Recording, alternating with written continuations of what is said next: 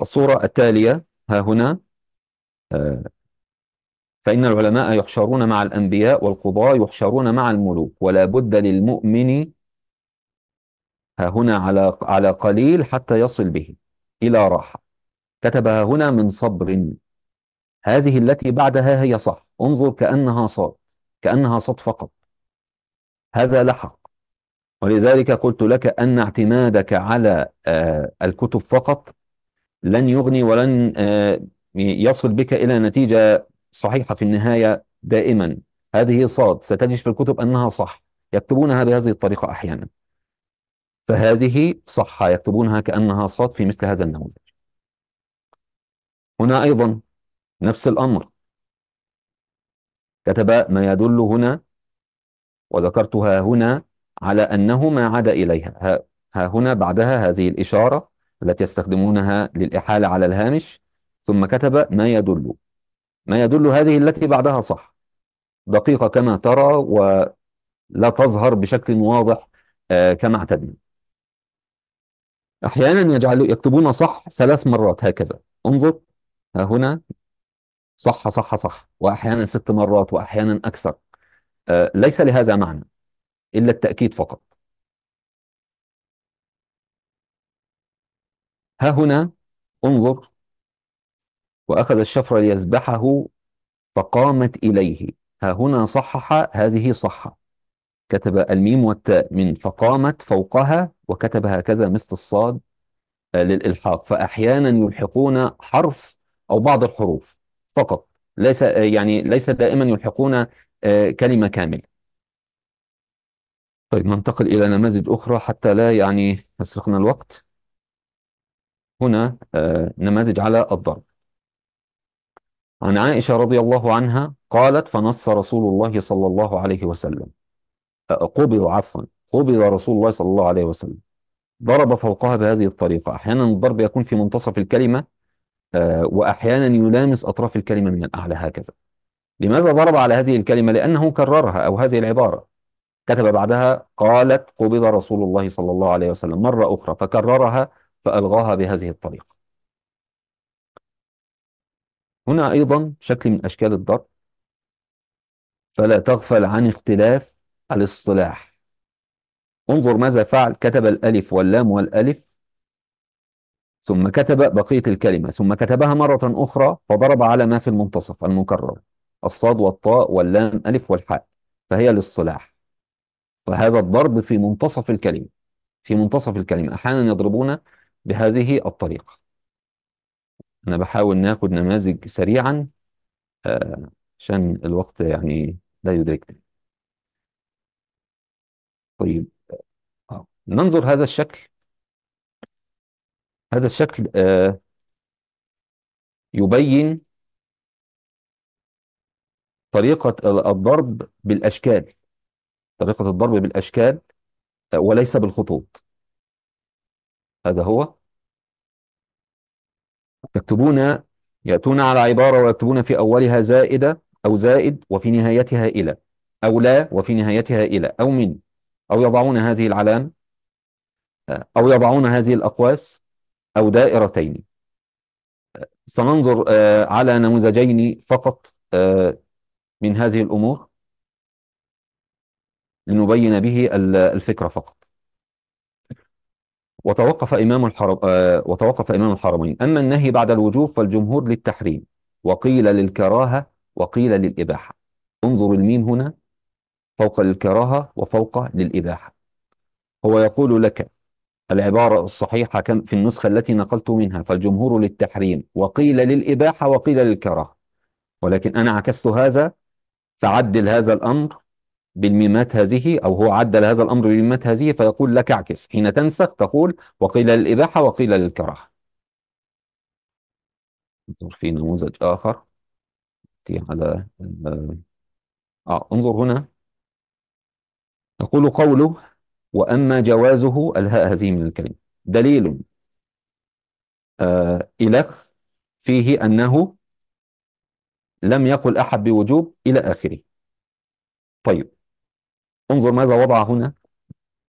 خاء ميم. انظر إلى الاشتباك حين اشتبكت مع الكلمات. يقول لك القراءة الصحيحة وأما دليل جوازه وليس وأما جوازه دليل. يقول لك بالخاء والميم هاتين. آه، اعكس كما قلنا في النماذج السابقة. انظر هنا. يقول يمرقون من الدين. وأمر في غير حديث بقتالهم يتكلم عن الخوارج وبين فضل من قتلهم أو قتلوه. ثم إنهم خرجوا بعد ذلك من بلدان شتى. انظر ماذا كتب هنا. ميم ميم. والميم الثانية أطول من الميم الأولى. لماذا؟ لأن الميم الثانية ها هنا وضعها فوق كلمتين. فهو يقول لك من المفترض أو الكتابة الصحيحة ثم إنهم بعد ذلك خرجوا من بلدان شتى. وليس خرجوا بعد ذلك من بلدان شتى. نأتي إلى آه، نماذج على علامات أخرى. نعم. نأتي إلى التطبيق.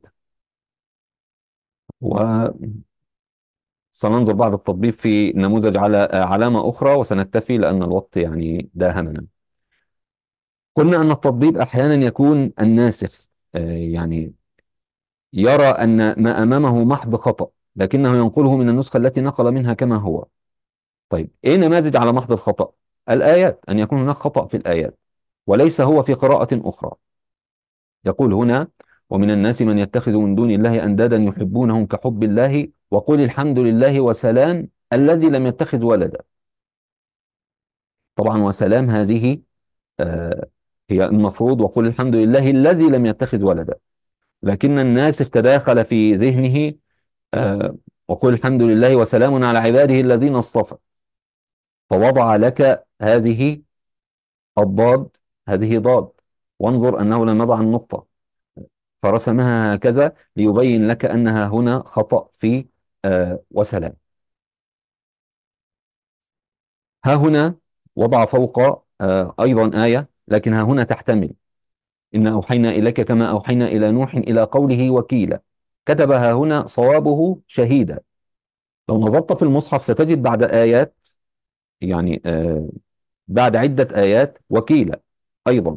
لكن الناسخ رجح هنا أنها هنا آه خطأ وأن الصواب شهيد. ننظر في آه نموذج مخطوط آخر وننهي على ذلك إن شاء الله بعد ذلك إن شاء الله. نماذج على خفة آه على خفة ومعا ها هنا انظر. قال كنا نتوضأ نحن والنساء من إناء واحد على عهد رسول الله صلى الله عليه وسلم ندلي فيه أيدينا. كأنه يعني خاف أن تقرأ ندلي بالتشديد هكذا فكتب خفة فوقها هكذا. وطبعا على الناسخ أو المقابل إن كان يعمل في مكان أو ينسخ لأحد أن ينبه على هذا حتى لا يتصرف فيه المصحح اللغوي بعد ذلك لأنه لن ينتبه لأن قد يكون لغويا صحيحا لكن هو يريد أن يثبت شيئا معينا في النسخة التي نقل منها فينبغي الانتباه لهذا. آه نعم ها هنا نموذج على معا وننهي به إن شاء الله.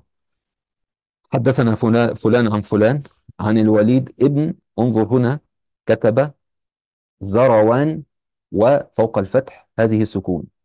زروان وكتب معا. ها هنا. زروان وزروان ليقول لك هي في النسخة التي نقلت منها هكذا معا بالضبطين. آه وأن هذا ليس خطأ مني. آه نكتفي بهذا اليوم إن شاء الله. كان معي نماذج أخرى لكن الوقت يعني انتهى. آه وأرجو أن يكون في هذا العرض يعني بعض فائدة للإخوة والأخوات وسامحونا على الإطالة. جزاكم الله خيرا.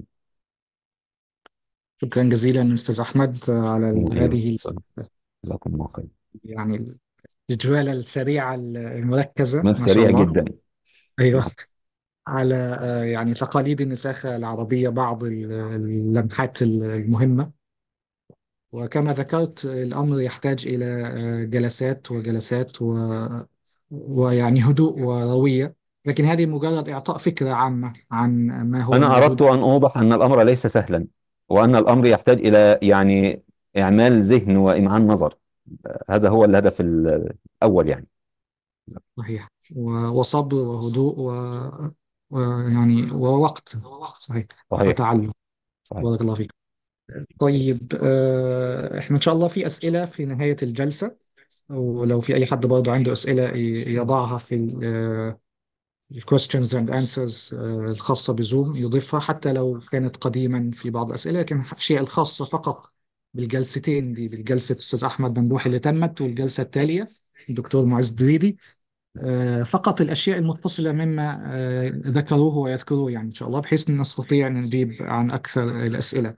ولو في أي هناك استفسارات أخرى لم يجب عليها رجاء توجيه الأشياء يعني ذات الصلة. آه، إلى بريد الإلكتروني مكتبة قطر الوطنية المكتبة التراثية الذي وضعناه ونضعه لكم لاحقا إن شاء الله.